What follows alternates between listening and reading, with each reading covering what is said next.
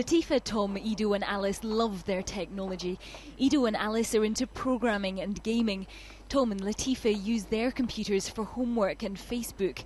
So we've brought them here to the computer lab at the University of Cambridge to find out what they make of the Raspberry Pi. We're going to uh, give you a sneak preview of the Raspberry Pi computer. Like if you believe the hype, this tiny device is the future of computing.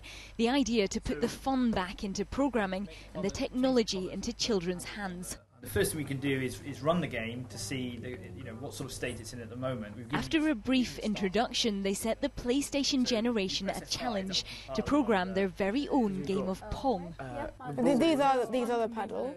Maybe if we did a bigger number. This is one of the Raspberry Pi computers. It's a credit card sized computer, a very powerful computer, um, and a very low cost computer. So we're hoping, well, we are selling these for £25 from today. Surely we can just change it to Surf. Okay. The aim of Raspberry Pi is to change the way children think about computers. So most will know how to play games on them, how to use them to surf the internet.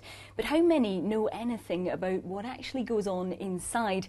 A report for the government last month found computer teaching in schools was dull and demoralising and said British children risk falling behind their peers elsewhere. It used to happen in the 80s in the UK. The BBC Micro was a cornerstone of computing in schools, and in the homes, as the Sinclair Spectrum was a pro programmable and affordable computer. All that got lost over time as computers got locked down.